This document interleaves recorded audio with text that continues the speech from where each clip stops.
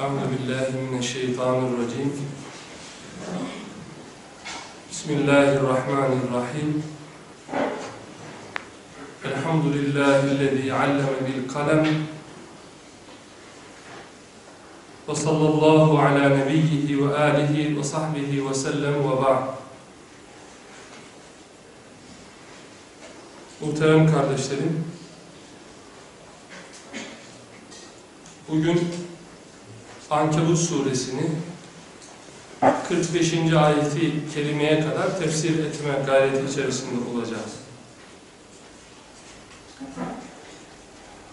Ankebut örümcek demek.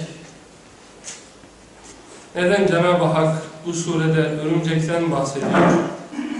Surenin sonuna doğru, dersin sonuna doğru onu izah edeceğiz inşallah. Sure Mekke-i Mükerreme'de nazil oluyor. Hicretten önce iniyor. Müslümanlara sabır telkin ediyor. Bu günlerin bir gün geçeceğini, sonraki asırlarda gelen Müslümanların aynı şartlar altında olaylara nasıl mukavemet göstereceklerini, problemleri çözerken nasıl bir yöntem izleyeceklerini ifade ediyor.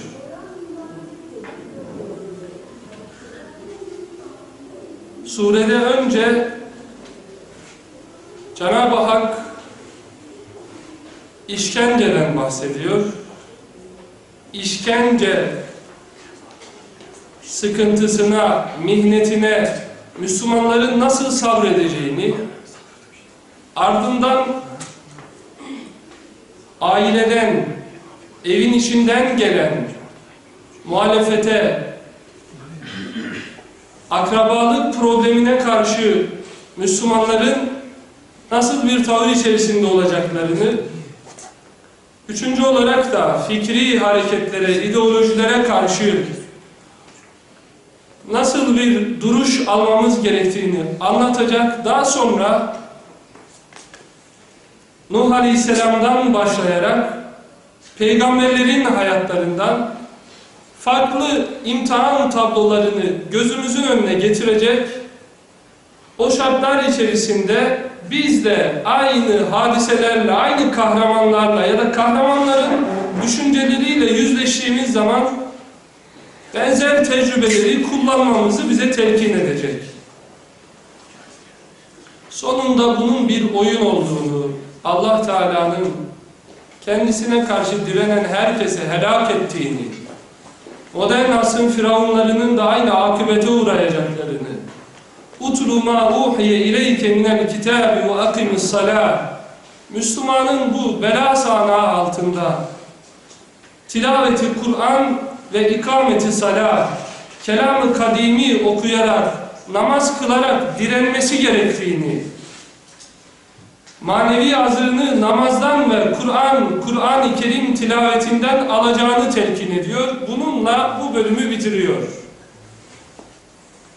Şimdi mukaddimesini yaptığım surenin bu ilk bölümünün tefsirine geçiyoruz. Elif, Lam, Mim diye başlıyor. Bunlara hurufu mukatta diyorduk. Yani kainatın sahibi Mekke'ye, bütün toplumlara, eğer şu kitaptan şüpheniz varsa, işte buyurun harfler. Alın sizler de bu kitabın bir benzerini ucuda getirin. Edebiyatçılarınız, şairleriniz, düşünce merkezleriniz vesaire. Birçok surenin mukaddimesi bu harflerle, benzer harflerle başlar. Bu da Elif, Lam, Mim. اَحَسِبَ النَّاسُ اَنْ يُتْرَكُوا اَنْ يَقُولُوا آمَنَّا وَهُمْ لَا يُفْتَنُونَ İnsanlarda şöyle bir kanaat var. İman ettik, ifadesi, kurtuluşumuz, selametimiz için yeterlidir. Allah Teala da onlara Elif, Lam, Mim اَحَسِبَ النَّاسُ اَنْ يُتْرَكُوا اَنْ يَقُولُوا آمَنَّا وَهُمْ لَا يُفْتَنُونَ Fitnelere, belalara, sıkıntılara maruz kalmadan iman ettik demekle kurtulacağınızı, selamete ulaşacağınızı mı zannediyorsunuz? Hayır. وَلَقَدْ فَتَنَّ الَّذ۪ينَ مِنْ قَبْلِهِمْ Sizden önce yaşayan nice peygamberler, nice ümmetler, nice topluluklar vardı ki onların içerisinde de sizin gibi salih insanlar, abidler, zahitler vardı. Onlar sizlerden daha acı belalara maruz kaldılar. Ama bütün bunların içerisinde imanları, izanları, ikanları sarsılmadan La ilahe illallah'ta o istikamette kaldılar. Peki neden kainatın sahibi? Güç kuvvet onun elinde olmasına rağmen neden bu belaları, sıkıntıları Müslümanların üzerine gelmesine müsaade eder? Esnafımız derler ki El mihne vel mahabbe Mihnet yani bela, yani sıkıntı, yani musibet kelimesiyle muhabbet kelimesi ikiz kardeş gibidir. Arapça yazılışlarına bakarsanız muhabbet ve mihnet kelimesi. Tek bir farkları var. Muhabbetin bası var noktası altında. Mihnetin nunu var noktası üstünde. Ehli muhabbet yani Allah'ın aziz ve sevgili kulları Allahu veliyyullezine amenu Allah'ın veli kulları eğer belalara, musibetlere, sıkıntılara sabır gösterirlerse nasıl bağın altındaki nokta yukarıya çıkar o belalar da onları kemal mertebelerinin en üst noktalarına taşır. Yani belaların mahşerinde, belaların içinde, kucağında Müslüman olgunlaşacak. وَلِيُمَحِّسَ اللّٰهُ الَّذ۪ينَ آمَنُوا وَيَمْحَقَ الْكَافِر۪ينَ Bela ile muttaki bir Müslüman münafıktan ayrılacak. Nimet anında şükredenle, bela anında, yani bir Müslüman kadın başörtüsünden dolayı bir fitneye maruz kalmıştır. Belki onun en tabi hakları elinden alınıyor. Allah'ın emirlerini yerine getiriyor diye. Şimdi o onun gibi olmayandan ayrılacak. Peki kainatın sahibi bizi bir imtihan sürecine tabi tutmadan bu ayıklama ameliyesini yerine getirseydi neden? Şunca belaya maruz kalırken Allah Azze ve Celle buna müsaade eder. Adalet bunu gerektiriyor. وَلِيَعْلَمَ اللّٰهُ الَّذ۪ينَ آمَنُوا Allah bilecek ehli imanı. فَلَيَعْلَمَنَّ اللّٰهُ الَّذ۪ينَ صَدَقُوا وَلَيَعْلَمَنَّ الْكَاذِب۪ينَ kim sadakat gösteriyor? Kim iman ettik diyor fakat bu kelime şu dilinden aşağıya inmiyor. Bir bedel gördüğü zaman yıkılıyor. Kim bunlar? Ayıplanması gerekiyor. İmtihan bizden önceki bütün ümmetlere tatbik edilen bir sünnet-i ilahi. Ondan kurtuluş yok muhterem kardeşlerim. O halde bizler Müslüman olarak madem şu kadar imtihan, şu kadar farklı yöntem bizim hayatımıza gelecek, farklı gairelerle bizi kuşatacak. O halde şu kitaba bakıp buradan aldığımız esaslar, ilkelerle imtihan sürecini nasıl yönetmemiz gerektiğini öğrenelim.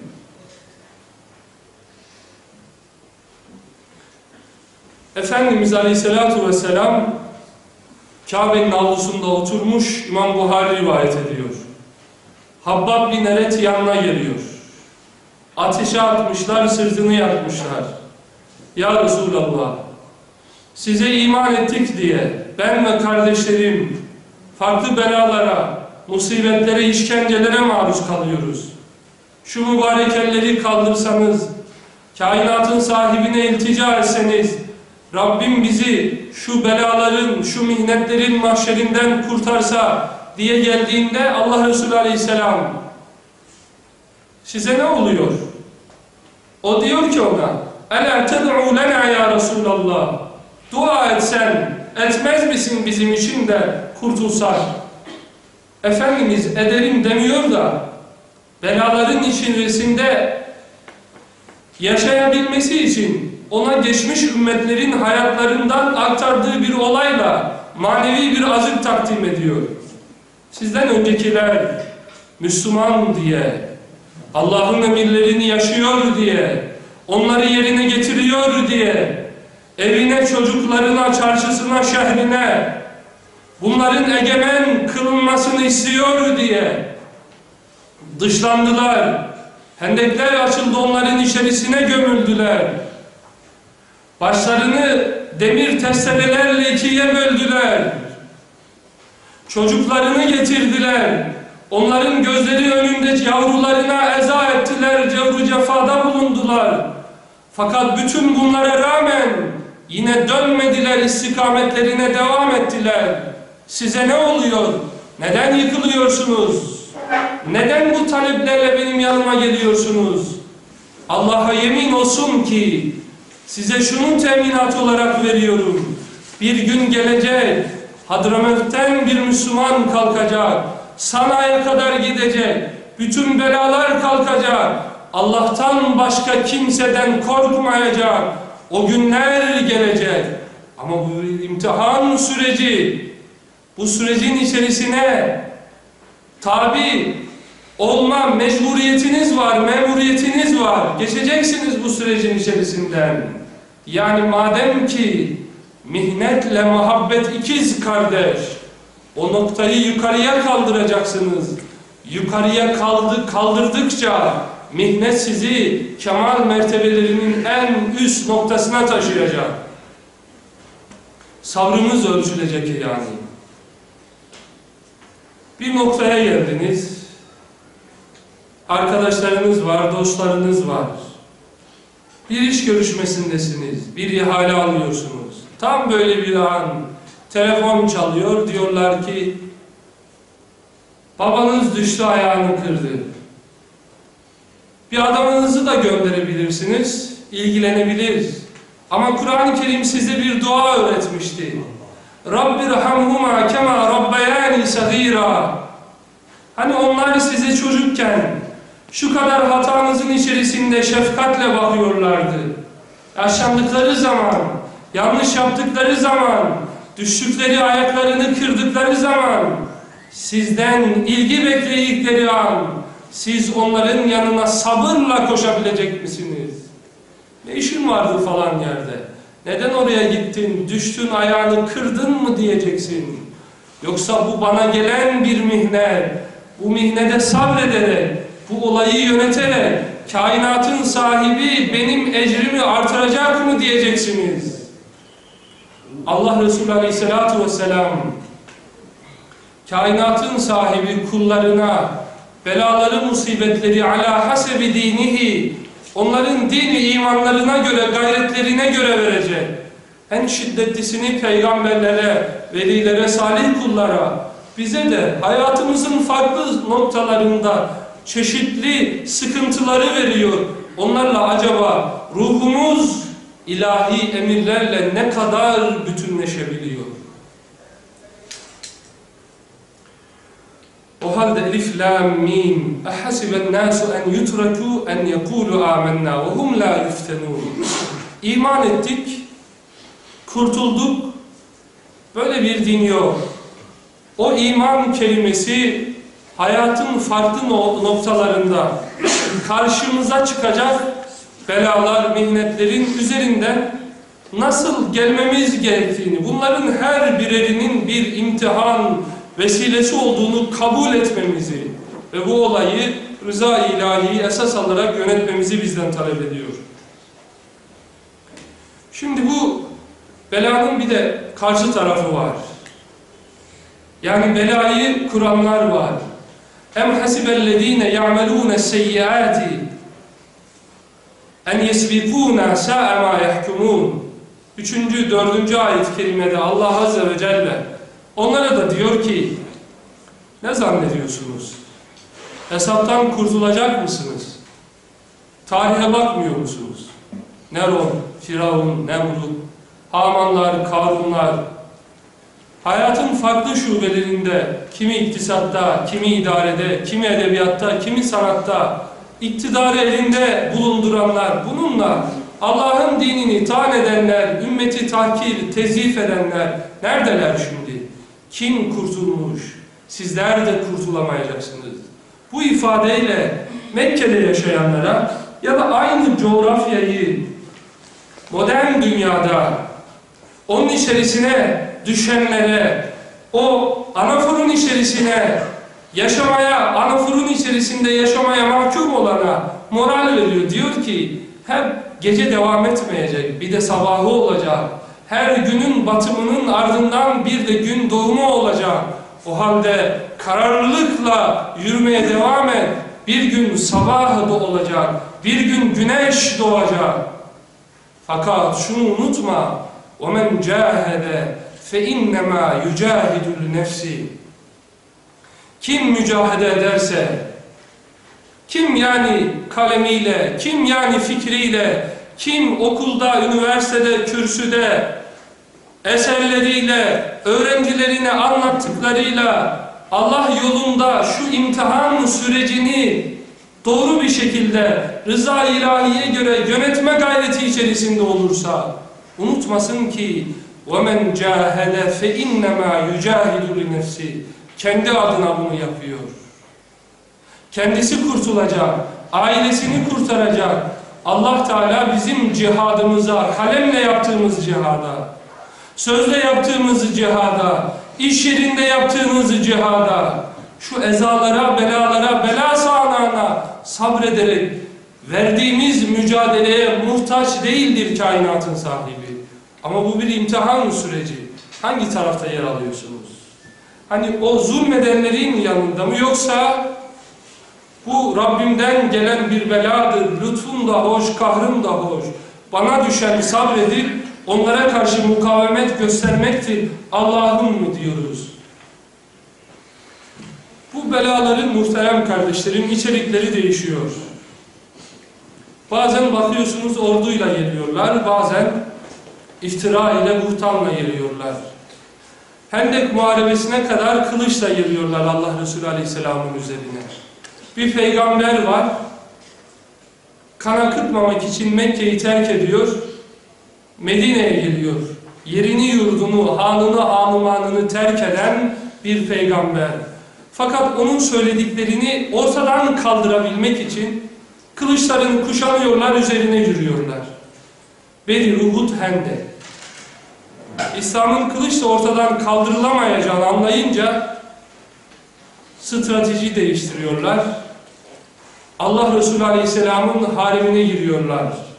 Ayşe annemize iftira ediyorlar. Kur'an-ı Kerim bize Nur suresinde o olayı anlatırken اِنَّ الَّذ۪ينَ يُحِبُّونَ اَنْ تَشِعَ الْفَاحِشَةُ فِي الَّذ۪ينَ آمَنُوا Onlar ehli imanın içerisinde fuhşiyatı fitneyi yaymak istiyorlar. Übey bin Kâb merkezli bir hareket var. Ancak böyle İslam'ın intişarının önüne geçecekler. Diyecekler ki Hendek'te yenildiklerinin Bedir'deki mağlubiyetlerinin acısını alabilmek, yeni kabilelerin Müslüman oluşunun önüne geçebilmek için sizin iman ettiğiniz peygamberin evine bakmaz mısınız? Haşa işine bakmaz mısınız? İnnellezîne yuhibbûne enteşi'al fâhişe Bu problemler farklı içeriklerde hep aynı merkezlerden piyasaya sürülmüştür. Türkiye özelinde bakarsanız Libya'da bir kardeşimizle oturursunuz Abdülhamit'e karşı, Osmanlı'ya karşı, Türkiye'ye karşı bir muhabbeti, bir heyecanı vardır. Suriye'de bir öğretmen, bir mühendis, bir doktor size der ki annem her yemeğin ardından elini kaldırır ya Rabbi Osmanlı'yı, Osmanlı'nın çocuklarını tekrar bizim başımıza yöneticiler kıl diye dua eder. Hindistan'da Müslümanlar sizi rüyada görür. Yeniden Osmanlı'nın, yeniden Büyük Türkiye'nin dönüşüne dair umutların olduğu bir zaman bir film hazırlarlar, bir senaryo vardır. O en muhteşem zamanlarımızın içerisine fuhşu koyarlar. Hareme bir devletin ailesine izzetin, iffetin, imanın sembolü olmuş devleti aliyeye üstadın ifadesiyle burnunu göstermekten utanırdı süt ninem dediği o mahrem dünyamızın içerisine girerler. Osmanlı'nın ailesini en olmadık iftiralarla teşhir ederler. Sonra ne olacak? Nedir bu fitnenin beklentisi? Neyi, hangi getiriyi amaçlıyorlar bundan? 3-4 ay önce Müslüman kardeşlerimiz farklı yerlerden, farklı ülkelerden Türkiye'ye dair önce umutlarını söylüyorlar, sonra endişelerini serdederken diyorlar ki sizin filmlerinizi Arapçaya çeviriyorlar. Çocuklarımızı, kızlarımızı, gelinlerimizi kaybettik. Ailemiz perişan oldu. Bir taraftan umudumuz var. Osmanlı dönecek diyoruz ama evimizden vurdunuz bizi. Önce sizi anlattılar bize, güvendik. Şimdi güvendiğimiz yerden bunlar gelince mukavemet yok. Avrupa dizileri böyle gelseydi evimizi almazdık. İzlemezdik bile, elimizin tersiyle vehle-i hulada reddederdik onları. Şimdi kalelerimiz düştü. Osmanlı için hazırlanan o senaryolar kısa bir zaman sonra Arapçaya tercüme edilecekler. İşte Osmanlı diyecekler. İnnellezîne yuhibbûne en teşi'al fâhişe fillezîne âmenû Ehli imanının mukavemetini kırabilmek için çeşitli belalar, fitneler sürülüyor sahneye. Müslüman olarak senin bu olaya ne kadar mukavemetin var? Hangi tarafta yer alıyorsun? Yani yoksa em hasibellezine ya'melûne seyyi'at o dizilerin reytingini artırıp onların içerisinde mi duruyorsun? Yoksa şu kadar sivil toplum örgütünün olduğu bir yerde özgürlük, sanatsal faaliyet benim evime sövmek olamaz, benim tarihime, benim ecdadıma sövmek olamaz diye bununla alakalı gerekli girişimlerde bulunan insanların safında mı yerini alıyorsun? Şimdi Kur'an-ı Kerim Ankebut suresinde işte bize böyle iki tane çerçeve açıyor. Fitneyi kuranlar, bunun içerisinde kararlılıkla yürüyenler, Allah Resulü'nün ashabı, önceki ümmetlerin, önceki peygamberlerin müminleri. Şimdi birinci fitne bu. İşkence ile geliyorlar. İkincisi ise aile fitnesi. Evinizin içerisine giriyorlar. Yani öyle aileler var ki İslam'a karşı mesafeliler. Ama o ailenin içerisinde o evde bir çocuk var. İslam'ın bütün esaslarını kabul etmiş. Annesi namaz kılamasın diyor.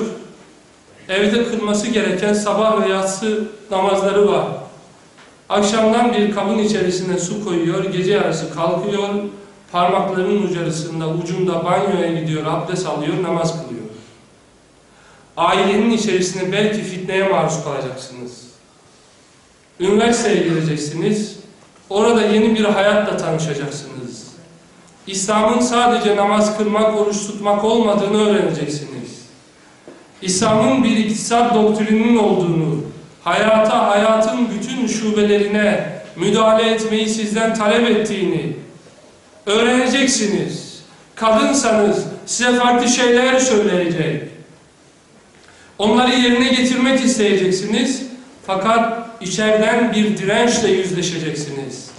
Şimdi Kur'an-ı Kerim bununla alakalı bize Mekke'den bayraklar gösterecek. Musab bin Umeyr'in bayrağını, Sa'd bin Ebi Vakkas'ın bayrağını, farklı içerikte birçok ayet-i kerime var bununla alakalı. Anlıyoruz ki Mekke-i Mükerreme'de Allah Resulü Aleyhisselam'a iman eden birçok genç aile tarafından bir reddedilme sürecine tabi maruz kalmışlar. وَوَصَّيْنَ الْاِنْسَانِ بِوَالِدَيْهِ husna Anneye karşı güzel davranmayı, bivalideyhi, ebeveyne karşı, babaya karşı hüsnü muameleyi telkin ediyoruz. Fakat bunun bir noktası var. Bunun bir haddi var yani. Oraya kadar geleceksiniz. Ondan öteye geçmeyeceksiniz.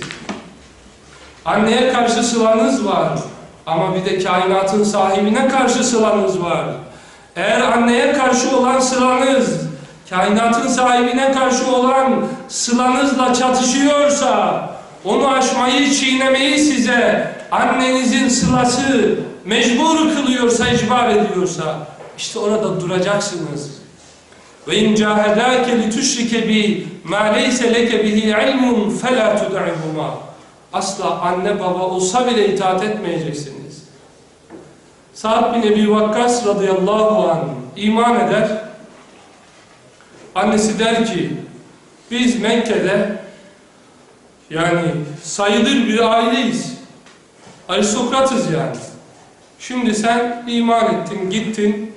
Bilallerin, Süheyblerin, Ammarların adam yerine koymadığımız kölelerin dinini tercih ettin, kabul ettin. Onlarla aynı mekanları paylaşıyorsun. Ailenin izzetini ayaklar altına aldın.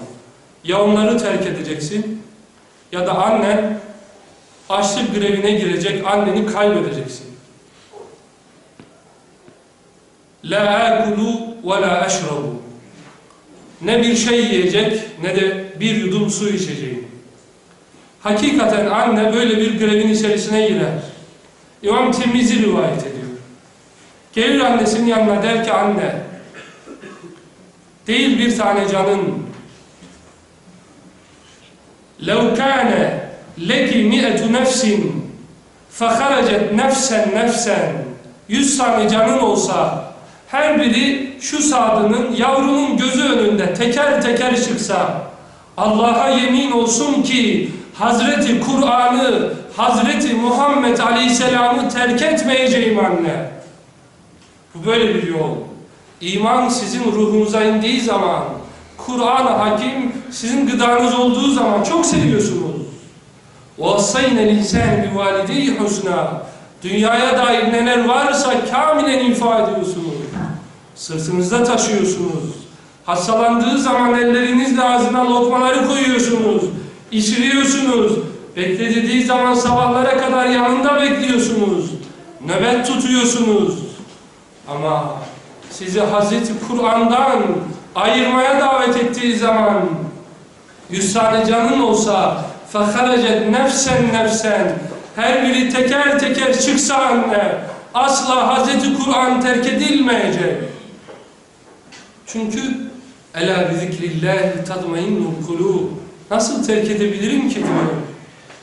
İçki meclislerinin, eğlence alanlarının, oralarda asla ben ruhumu tatmin edemedim, teskin edemedim. Aç kalan ruhumu Hz. Muhammed Aleyhisselam'a inen gelen Kur'an-ı Hakim doyurdu. Ben o yolu nasıl terk edebilirim?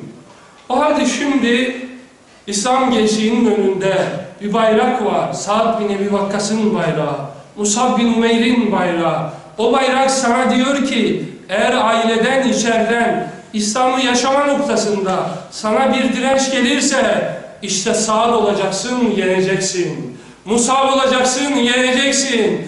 İslam'ın sadece namaz kılmak olmadığını, oruç tutmak olmadığını وَمَنْ يُجَاهِدْ فَاِنَّمَا يُجَاهِ وَمَنْ جَاهَدَ فَاِنَّمَا يُجَاهِدُ لِنَفْسِهِ Rabbimin bizden kalemimizle, sözümüzle, malımızla, bütün varlığımızla cihad etmeyi istediğini de söyleyeceksin, yaşayacaksın. Bunun gereklerini ifade edeceksin. İkinci fitne bu kardeşlerim. Üçüncüsü ise وَقَالَ الَّذ۪ينَ كَفَرُوا لِلَّذ۪ينَ آمَنُوا اتَّبِعُوا سَب۪يلَنَا وَلْنَحْمِلْ خَطَايَاكُمْ وَمَا هُمْ بِحَامِل۪ينَ مِنْ خَطَايَاهُمْ مِنْ شَيْءٍ O belli insanlar size diyecekler ki neden faiz almıyorsun? Bu devirde kredi olmadan iş olur mu? Al. Bizim yolumuza gir ve nehmil hatayakum. Varsa günahı ben yükleneyim. Sen kız kardeşim neden okumuyorsun? Başını aç diyorlarsa açacaksın, varsa günahı ben yükleneyim. Sen neden gelmiyorsun bizim merkezlerimizde, eğlence kulüplerimizde, oraların bir üyesi olmuyorsun, bizimle beraber dolaşmıyorsun. Gel bizimle birlikte ol. Gel sen de dünyadan kam al. Varsa onun bir günahı nahmil hatayakum onu biz yüklenelim. Bununla alakalı ideologlar göreceksiniz. Bununla alakalı düşünce merkezleri göreceksiniz. Bununla alakalı hocalar göreceksiniz. Kardeşlerimizi göreceksiniz. Eğer bu kapıdan bulamıyorsanız bir fetvayı başka bir kapıya gideceksiniz. Hatta burada yok denen Kur'an-ı Kerim'in sureti katiyede muhkem ifadelerle asla olmaz dedi. Tilke hududullah dedi. فَلَا تَقْرَبُوهَا dedi. Bu Allah'ın çizgileridir. Aşmayın, geçmeyin dediği noktaların ötesine gitmeniz için sizi teşvik edenleri göreceksiniz. وَلْنَحْمِلْ خَطَايَاكُمْ Varsa günahı biz yüklenelim. Kur'an-ı Kerim buyuruyor ki kainatın sahibi وَمَا هُمْ بِحَامِل۪ينَ مِنْ خَطَايَاهُمْ 12. ayet-i kerime. Kimse kimsenin hatasını yüklenemez. Cezada bireysellik esastır. Herkes kendi günahıyla kainatın sahibinin huzuruna gelecek. وَلَا تَزِرُ وَازِرَةٌ وِزْرَ اُخْرَى Sen kardeşim eğer bir yerde çalışabilmek için başını açıyorsan bunun hesabını önce sen vereceksin. Peki onlar وَلَيَحْمِلُونَ اَثْقَالَهُمْ وَاَثْقَالًا مَعَ اَثْقَالِهِمْ Bir kendi günahlarının cezasını, bir de ümmeti dalaleti sürüklemelerinin cezasını çekecekler. Yani şunun gibi, birisi bir cinayet için bir tetikçi tutuyor. Ona diyor ki git sen falancayı öldür. Ben kuvvet kudret sahibiyim. Şu kadar adamım var. Kimse seni alamaz, yakalayamaz. Hukukun önüne çıkaramazlar. O kişi gitse, kuvvet sahibinin işaret ettiği adamı öldürse, yarın mahkemeye çıkarıldığında hukuk devleti ona şöyle der mi? Hayır. Bunun cezası seni azmettiren kişiyedir. Hem tetikçi cezayı alacak, hem onu o suça sevk eden kişi merkez, güç sahibi kimse hukuk devleti ikisinin de cezasını verecek. Kainatın sahibi diyor ki ben o kadar kuvvetliyim ki kimse benim karşıma çıkamaz. Yani kıyamet olduğu zaman يَوْمَ يَفِرُّ الْمَرْءُ مِنْ أَخِيهِ وَأُمِّهِ وَأَبِيهِ وَصَاحِبَتِهِ وَبَنِيهِ Göreceksin ki kişi kardeşinden ve ummihi ve abihi annesinden babasından ve sahibetihi ve benihi eşinden çocuklarından kaçacak. Hani görecek onları. Diyecek ki ben sizin dünyanız için şu kadar işleri yapmıştım. Şimdi amellerim yetmiyor cennete gitmek için. Bana onlardan bir parça verir misiniz? diye talepte ricada bulunduğunda Allah Resulü Aleyhisselam buyuruyor ki o en sevdiklerin size dönecekler. Ahafu misellezî tehâfu. Sizin korktuğunuz cehennemden ben de korkuyorum. Benden bu tür bir talepte bulunma diyecekler. Yani cezada bireysellik asıl. O halde herkesin aklı var. Herkes aklıyla yarın kainatın sahibinin huzuruna gelecek. Mustakim hayatınıza devam edin.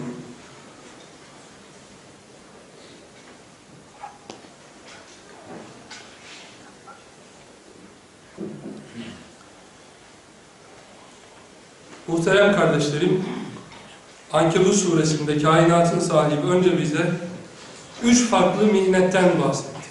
Birincisi, hayatın her alanına yayılmış olan işkenceler. İkincisi aileden gelen mihnet. Üçüncüsü işte böyle. Okur yazar, gazetesi vardır, dergisi vardır, mecmuası vardır. Yani kanaat önderidir, yönlendiriyordur, yol veriyordur belki. Kur'an adına, Kur'an-ı Kerim adına, sünnet adına bir takım şeylerden bahsediyordur belki. Rabbim onların tuzaklarına karşı bizleri uyarıyor. İşte fotoğraf budur diyor. Suçta bireysellik esastır diyor. Buradan sonra Şimdi gözümüzün önünde daha muşahhas tablolar getirecek. Farklı mihnet tablolarını getirecek. Önce Nuh Aleyhisselam'la başlayacak. Sonra İbrahim Aleyhisselam'la devam edecek. Kısa kısa getirecek. Neden? Baş tarafa irtibatını, o arz ettiğim mukaddimeye bağlantısını tesis temin edebilme adına bunları muhtasar olarak serdedecek. Önce Nuh Aleyhisselam'la başlıyor. Yani bu mihnetin önemli bir bölümünü Hz. Nuh Aleyhisselam'ın hayatında görebilirsiniz. Sizin dünyanız da böyle olabilir. İşte onun tecrübesini, olayları yönetmesini dikkatle izleyin. Siz de bu anaforun belanın içerisinden Hz. Nuh Aleyhisselam'ın izlerini takip ederek çıkın. وَلَقَدْ أَرْسَلْنَا نُوحًا إِلَى قَوْمِهِ فَلَبِثَ ف۪يهِمْ أَلْفَ سَنَةٍ إِلَّا خَمْس۪ينَ عَامًا فَأَخَذَهُمُ الطُّوفَانُ وَهُمْ ظَالِمُونَ 14. ayet-i kerime. Nuh Aleyhisselam'ı gönderdik. O milletin içerisinde peygamber olarak tam 950 yıl kaldı. Yani belki diyeceksiniz ki 950 yıl insan ömrü nasıl bu kadar uzun olabilir? Rabbim kainata böyle bir kanun koymuş. Sinekler ortalama iki hafta yaşıyorlar. Ama bir yerde yaşıyorsunuz, bir anda yüz binlerce sinek, yani o şehirde sivrisinek yaz geldiği zaman vücut bulabiliyor, ortaya çıkıyorlar. Birini def ediyorsunuz, onlarcası ayağınıza başınıza geliyorlar. Bir şey çok olunca onların ömrü az oluyor. İnna kulle şeyin halaknahu bi kader. Kainata, yarattığı her şey böyle bir nizam tayin etmiş. Az olanların ömrü ise fazla oluyor. Kaplumbağa ortalama 200 sene yaşıyor. Az. Eğer sinek kadar çok olsalar, o kadar üre, üreseler yani, sinek kadar kolay üremiş olsalar, her yer karınca, yani eğer sivrisinekler, kaplumbağalar kadar uzun bir ömre sahip olsaydı, bütün bir dünya sinekle kaplı olacaktı. İnsan neslinin az olduğu zaman insana bu kadar bir ömür tayin etmiş. İnsan neslinin e, insan neslinin çoğaldığı bir zamanda onların ömürlerini kısaltmış. Hz. Nuh Aleyhisselam zamanında insan sayısı az, ömürlerini uzatmış ki arada tevarüs olsun. Yani nesil ortadan kalkmasın, tür yok olmasın diye. İnna külle şeyin halaknahu bi kader. Hiçbir şey tesadüf eseri değil. Her şey bir nizam çerçevesinde ilerliyor. Peki bunun bu işkencelerle, ashab-ı kiramla bizimle alakası ne olabilir? Diyor ki Rabbim, hani Nuh Aleyhisselam'ı düşünün.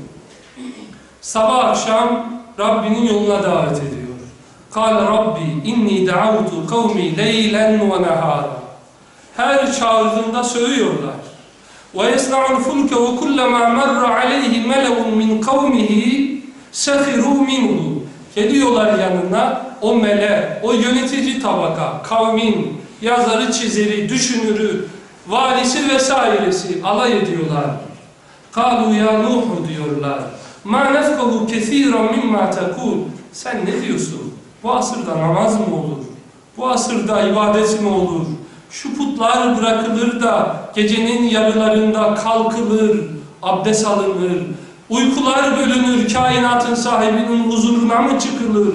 Nasıl bütün bunlar olur? Söylediklerine bir anlam veremiyoruz diyecekler. Söyleyecekler. Belki evini kaybedecek, çocuğunu kaybedecek. Kâle seâvi ile cebelin yâsimuni minel.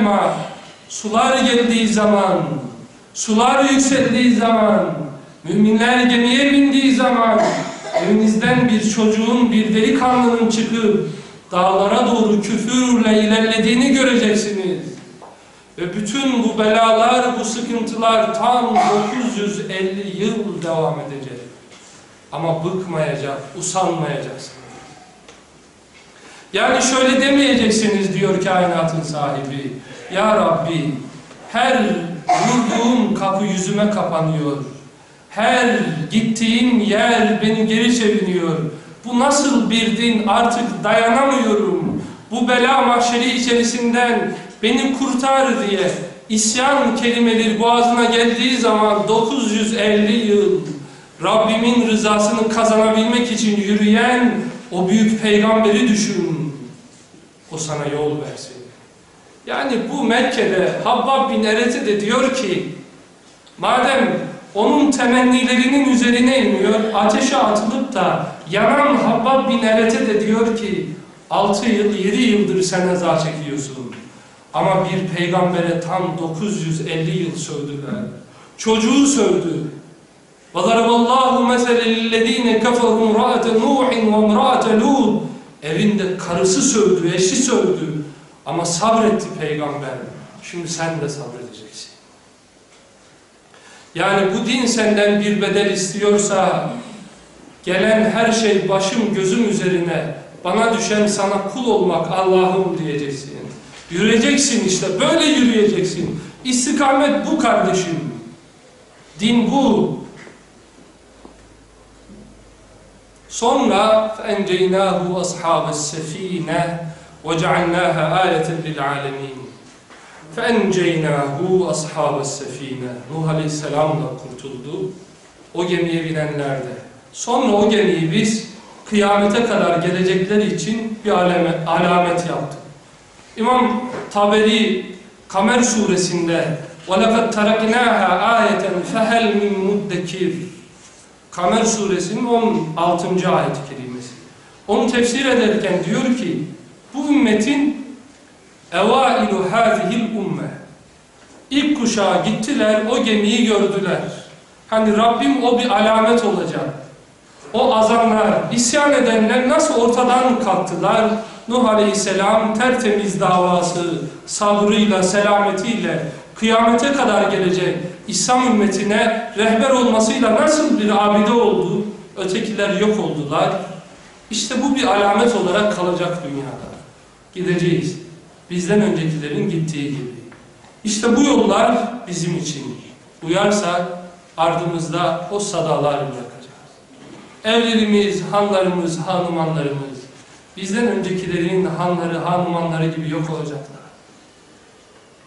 İmam İmam Busa, e, İsmail Hakkı Bursevi'nin ruhu beyanında var da diyor ki İbrahim Ethem giderken rahmetullahi aleyh bir asker kendisine hükümdarın sarayını soruyor.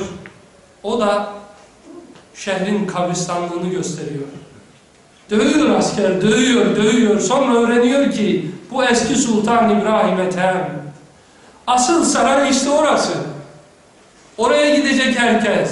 İbrahim Ethem son tahlilde evimizi göstermiş bize. İşte bütün bu olaylar, bütün bu kıssalar şu dünyada hayatımızı, olayları yönetirken neleri esas almamız gerektiğini bize telkin ediyor. Bunlar muhterem kardeşlerim, kıssetül la tentehi, bitmeyen, tükenmeyen, masallar değil, hepsi gerçek hayat hikayeleri, somut olaylar, ders alalım diye Rabbim bize, febihudâhu muktedi, uyalım diye Allah Resulüne de emrediyor, uyalım diye bize anlatıyor. Sonra İbrahim Aleyhisselam'dan bahsediyor. Yani o da farklı belalarla, sıkıntılarla yüzleşmiş ve İbrahim iz kâle li kavmihi i'budullâhe vettekû. Zâlikum hayrun lekum in kuntum ta'lemun. İbrahim Aleyhisselam küfür toplumunda yaşıyor. Aklı kullanan bir millet var.